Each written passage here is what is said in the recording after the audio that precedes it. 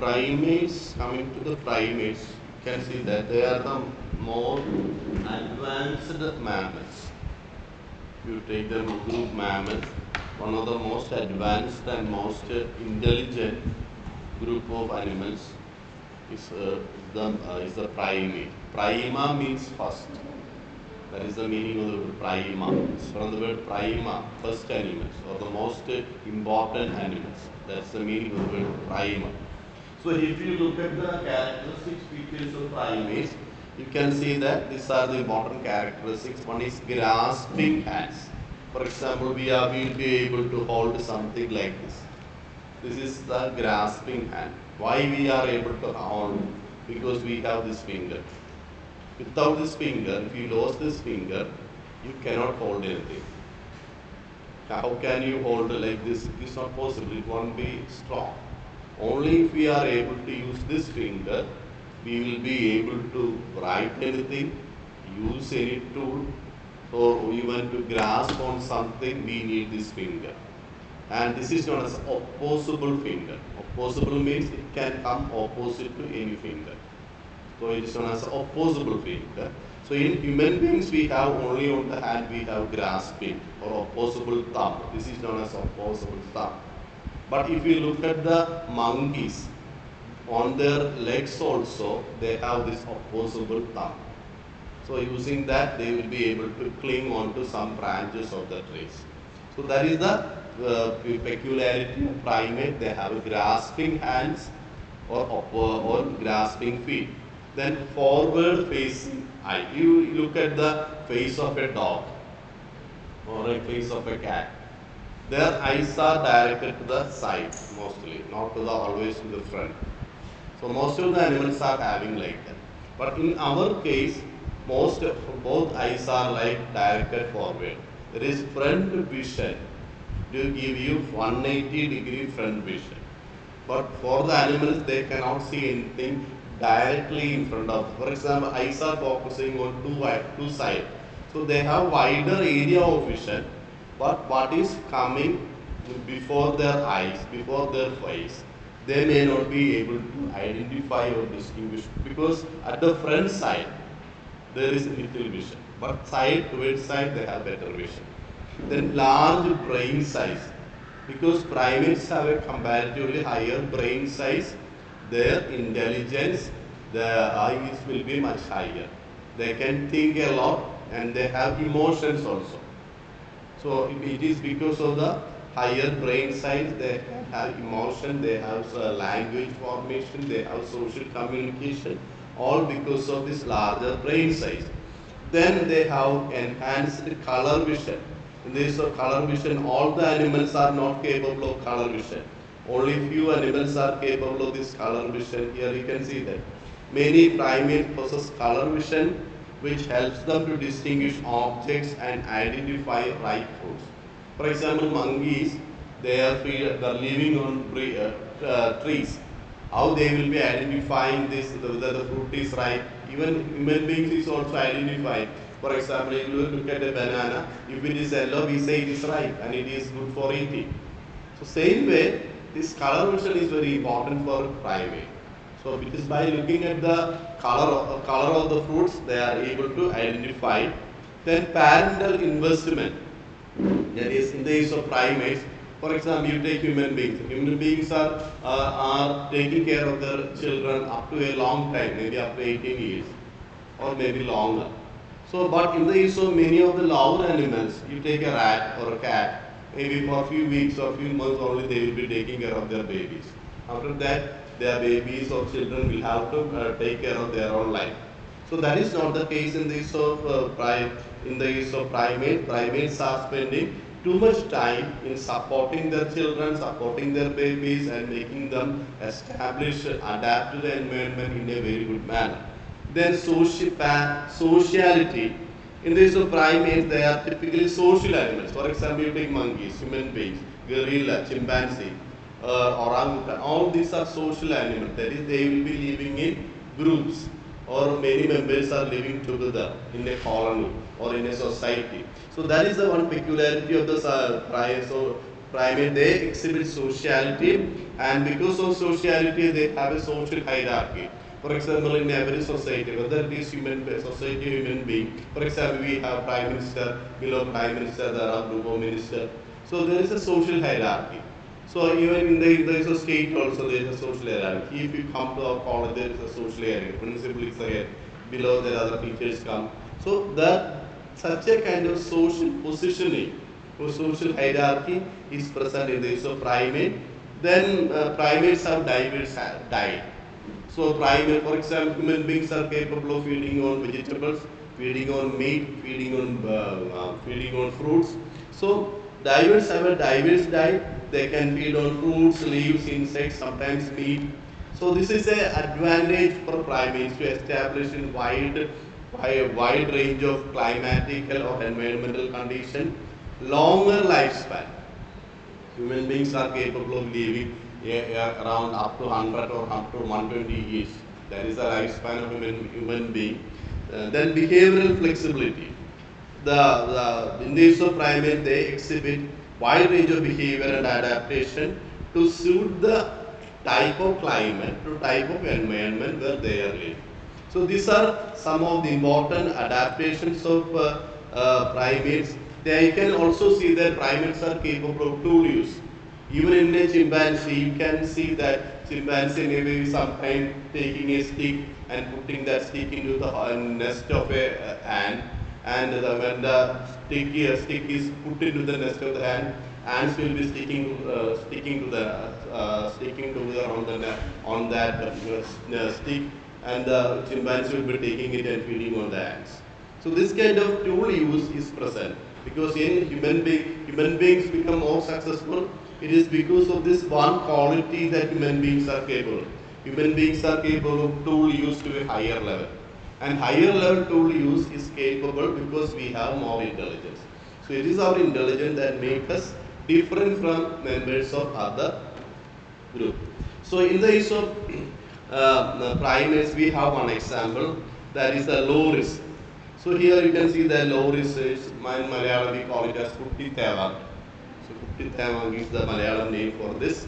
And it's a very interesting animal. You can see that very small animal, very shy animal, mostly nocturnal. They are living mostly nocturnal. If you look at the hands of this animal, it's almost like the hand of a, of a hand of a human being. See that uh, with the legs also they can clap, they can dance. See they are using their hind limbs also to grasp. We cannot do that. Only monkeys are capable of doing that. So they have a lot of features. Uh, they are mainly found in the jungles of South. In Kerala, we can find this uh, this uh, slow loris or slender uh, uh, it is present here. So loris is an important and, uh, an animal. There are two types of loris, slender loris as well as slow loris are the shy animal. That is, they move very slowly, and most of the day they are spending uh, active during night time. That is why we call them nocturnal animals. Then slender build and earthy brown. Slender build, the body is very slim. That is why slender build and color of the hair, earthy brown, just like the, the skin color of a dog. It is earthy brown. Then muzzle is white and nose are projecting. The muzzle is, this is a muzzle. This is a muzzle is known as a muzzle is white in color and nose is actually projecting. So that is also a characteristic feature. Then uh, you can see that two eyes are there and two eyes are very large. See, look at the face of the uh, this uh, loris. You can see that compared with the size of the face, the size of the eyes are very large. They have very large, disproportionate eyes compared with the size of the face. So this larger eyes is an adaptation to collect maximum maximum light during night time. So it is a, that is the purpose of larger eyes. Larger eyes may be able to have a larger lens system so that more light can be captured during night because it is active mostly during night. So night there will be little light. Sometimes very uh, good moonlight will be there, but most of the time very little light will be there. So using that light, the animal has to survive. Animal has to see. So for that they have a better um, um, night vision, and for that their eyes are very large. Then we can also see that they have a solitary life. Solitary lifestyle means they are uh, most of the time they are alone. They do not spend uh, the, the, they, they won't spend their time with other members. So that is why they have a solitary lifestyle. So solitary lifestyle means living alone. Living alone. That is the meaning of the word solitary lifestyle. Earlier we were saying that social lifestyle. Social lifestyle means living in groups, living in societies, living in colony. So that is the nature of the social lifestyle. So here you can see that in the use of this animal, though they are a mammal, they are a primate, uh, they are coming under the primate, they spend most of their life time living alone. Only during the reproductive time or only during the parental time they are spending time together with their babies. Other time, other time they are mostly living alone. So this is these are the features of the uh, next uh, this animal known as a loris. Now we go to the another group known by the name carnivora. So in this carnivora also we have one example. You can see that the example that we have to study under the category carnivora is the panthera. Panthera is the example. Now we come see you can see that in case of panthera before the let's see, see the what are the important characteristic features of order carnivora. In the case of order carnivora, they are considered as flesh-eating animal. Carni means flesh, vora means to eat. So carnivora means eating on flesh. So that's how the term carnivora is came. So they are flesh-eating or meat-eating animals. Then they have a sharper pointed canines. You can see that these are ca- carnivora, their uh, front teeth front teeth is very very powerful very strong and the canine teeth is very uh, sharper as well as pointed. Then quadrupeds quadru quadru means four. Ped means leg. So quadruped means four legged animals. These are animals which are walking on four legs just like this tiger or a lion or a leopard. So these animals are living on or walking on four legs. That is why so that is an advantage for this animal for faster running. We are not uh, capable of faster running just like the running speed of a tiger or running speed of a deer. Human beings has a maximum capacity of 40 or 50 kilometer. That is the maximum that we can do. But in the case of this carnivorous animal, they are good good runners. They can they can run very fast. So some cheetah maybe they can run at a speed of nearly 100 kilometer per hour. So these animals are very good runners. So another peculiarity is that temporal fossa. Here you can see there is a region called as temporal fossa, and there is a uh, opening also here. So there is known as a, this region of the brain is known as a temporal fossa, and our ear, ear, ear uh, inner ear and middle ear are all connected, uh, are, are, are found here. So this is known as a temporal fossa. It's a the region known as a temporal fossa is an is a is a peculiar thing that we can find only in carnivora. Uh, uh, so because in this of temporal fossa they have a characteristic it is open behind. So that is the that is one important feature of the temporal fossa. Then you can see come to the example. We have one example known as Panthera. Panthera means a tiger. So here you can see that the tiger is considered as the uh, uh, national animal of uh, uh, India. And not only India, and tiger is the national animal of few other countries also, I think. Then, so in case of tiger, uh, that belong to a genus known as a Panthera. Panthera means it is a uh, genus that consists of number of other animals also. Panthera leo. Panthera leo means uh, lion. Panthera tigris means tiger. So these are the uh, two uh, uh, animals that we can find. And similar leopard is also coming under the group Panthera. The uh, insecure is the scientific name of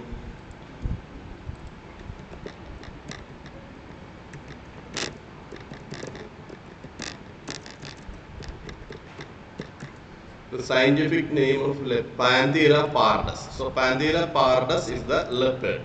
So these are the three animals. Lion is the lion, Panthera leo, Panthera tigris, and Panthera pardus. Pardus means the scientific name of the leopard. So these are the three animals that we can find, and we can also see that these are nocturnal animals. nocturnal animals means mostly live, uh, active during night time. So animals which are active during night time are known as nocturnal animals. And what is their nature? They are hunting on gra- grazing animal. So lion, leopard, uh, uh, they are mainly feeding on deer or, or, or antelope. So if you if you go to the Africa or you go to in the forest of in in, in the east of forest in Kerala, we have tiger. Tiger is mainly feeding on deer. Deer is their main prey, main prey. So deer is a grazing animal, herbivorous animal. So these are carnivorous animals. They survive by feeding on smaller grazing animals. Then they have a larger body size. So nowadays uh, people are familiar, you are familiar with uh, this tiger, uh, elephant, etc. Because uh, most of the time you can see some kind of news that tiger came to our locality and TV people will be reporting that. Otherwise elephant came to our colony.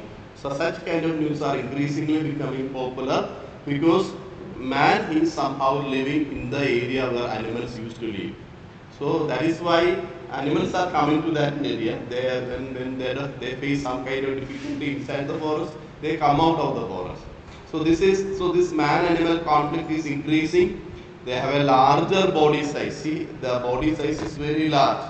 Compared, see, if you take the tiger, a normal human being cannot fight with the tiger. It's very strong, very powerful.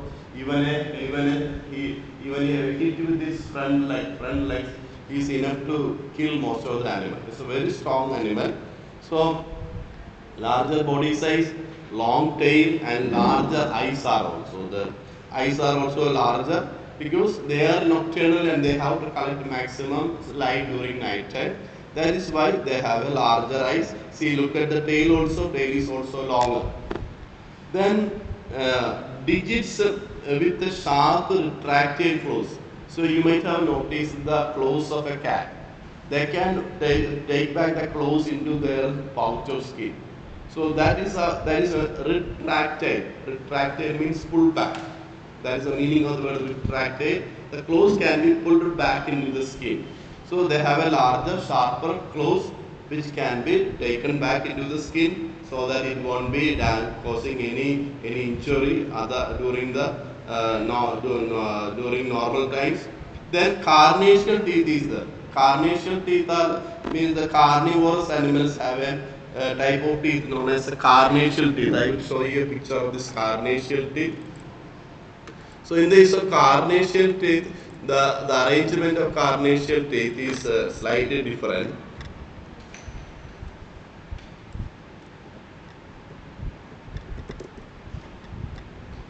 See, the carnassial teeth have a special arrangement. See, here you can see that.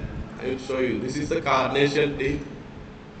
See, here you can see this teeth and this teeth. They are, they are acting like scissors. The lower, uh, lower teeth as well as upper teeth. So that is why this is known as a carnassial teeth. Carnassial teeth is a specialized peach here also you can find. This is known as the carnassial teeth. So these two teeth uh, are known as the carnassial teeth. And, uh, and because of the carnassial teeth here also you can see that. So because of the presence of carnassial teeth, they are acting like scissors. And this carnassial teeth will be helping the animal to cut the meat properly. So that is one important feature of the carnivora. Uh, carnivorous animals have a carnassial teeth. The male lion has a long hair on the neck and shoulder and mane. See if you take a male lion, I will I will check you. I will show you how the picture of a male lion. See, if you take a male lion, this is how the male lion is usually formed. See, if you uh, see this male lion, you can see that. See, these are the cat. They have a mane. They have a mane. This structure is known. This is known as a mane. This is the mane of a male lion. Then what is that? It has a long hairs on the neck. See, if you look at the neck region, this is the neck region. Neck region has a very long hair. The purpose is there to increase the increase the aggressiveness of the face. For example, when a man is putting beer, he look more serious. We will say that because it increases the aggression on the face. That same purpose is served here. So by the purpose of this extra hair on the face as well as extra hair on the neck is to make it look more dangerous, more serious. Then other features of the is that they have long uh, then uh, long hairs on the neck, shoulder and mane. And so that is one feature of them. They have a longer tail. See the body of the uh, the uh, the skin. It is the, it, this part is mostly formed of fine skin. So these are some of the important features of the Panthera. Panthera is a larger ge- gen- genus, consists of number of animals, lion, leopard, and uh, tiger. These are the all are dangerous predators, very powerful predators, and usually con- considered as keystone species. Keystone species means uh, I will tell you what is a keystone species.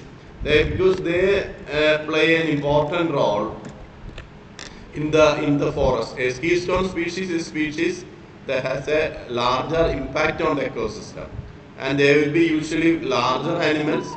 They, because in the case of tiger, it is a keystone species. Because if you protect tiger, tiger needs a lot of forest, a lot of uh, uh, a lot of well-maintained ecosystem. If you are able to protect tiger, naturally tiger is feeding on herbivorous animals or deer. So when we are protecting tiger, we are also indirectly protecting other group of smaller animals. This is how our uh, principles of conservation uh, by the forest department usually work. But to some extent it is okay. But and there is a smaller animal. Sometimes this uh, this philosophy may not be always correct. But with regard to most of the mammals and other uh, animal, other herbivorous animal, it works. So it is considered as a keystone species. So these are some of the important features of the Panthera. Then we go to another order that is the order Edentata. Order Edentata. So uh, that is the next order in this order Edentata. We have one example that is armadillo. Here you can see that. So Edentata, Edentata. The teeth are imperfect and without enamel. So that is a that is a peculiarity of order Edentata. Then the second characteristic feature of the Edentata is that they have uh, scales present all over the body. Here you can see this is the Edentata, Bengali or armadillo. So here you can see that armadillo here is a good example. So armadillo is a very good example. So then long, sticky, protrusible tongue. That is another characteristic feature. A longer tongue about which I will show you. So these are the three important features of the Edentata. So Edentata are having an imperfected enamel. The scales are present all over the body and longer protrusible tongue is also present. Now we go to the example that is the armadillo. See, you can see that this is the armadillo. And let's see what are the important features of the armadillo. Here you can see that they are known as a little armored one. Armor means body covering. So armor means body covering and they are mainly present in South America as well as Central America. Then they coming to other point nocturnal. You know it is the night. Fossorial, mainly living in burrows, just like a rat or mouse. So they are making burrows and living inside the burrows. Omnivorous, like human being feeding on herbivorous, uh, play- feeding on plant matter as well as animal matter. So such animals are, known as omnivorous. Head is short with a long protrusible tongue. See, compared the, compared to the body size, the size of the head is comparatively smaller. So that is an important feature of the armadillo, smaller head and they have a longer tongue. The smaller head, head is smaller but head is a longer tongue. Then eyes are small, then eyes are small. See look at that, they have a smaller eyes. Then pinna, see this is the pinna, pinna this is the earlobe. Earlobes are larger. So the smaller eyes, larger earlobes, and a keen sense of smell. They are very good in smell. That is why the earlobes or ears are very large, larger in order to collect maximum sound. So they have larger earlobes. Then another important feature, polyembryony. Polyembryony means uh, one embryo may be dividing into two or three embryos. So usually what is happening is that in one pregnancy more than one one baby will be born. Two, three, four or sometimes several babies may be born. So that is happening by division of the first embryo into several embryos. So this is as a polyembryo. And then long sharp claws are there. See, the claws are very longer, sharper, and are also um, uh, used for digging, digging the soil. So the removing the soil and making the burrows. So that is one important feature of the armadillo. Armadillo has a very powerful, very see here also you can see that. This is another example of armadillo. So here also they have a very powerful see this is the very powerful claws. See these are the claws. The claws are very larger, longer, powerful. And uh, using that powerful uh, uh, claws, they dig the soil. They have a short legs. See, compared with other animal, compared with the size of the body, leg size is smaller, shorter. Then they can move quite quickly. Fast-moving animal and originated in South America. That is the native uh, native place where. Then another peculiarity: low body temperature. Most of the animals compare, they have a body temperature below around 33 to 36 degree. Our, whereas in case of most of the animals, the body temperature is above 36 degree. For example, human being, we have 37 degree. So they have a lower body temperature. Then coming to the metabolic rate, 40 to uh, low metabolic rate, 40 to 60 percent of the expected in placental mammals. See, compared to the other placental mammals of the same size, their the bodily activity is low.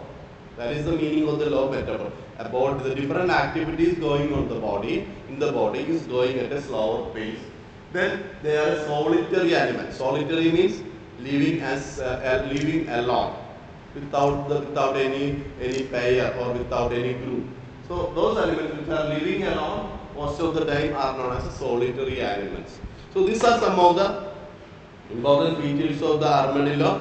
Armadillo is an interesting animal, But here in, in India we don't have armadillo. Armadillo are mainly present in South America.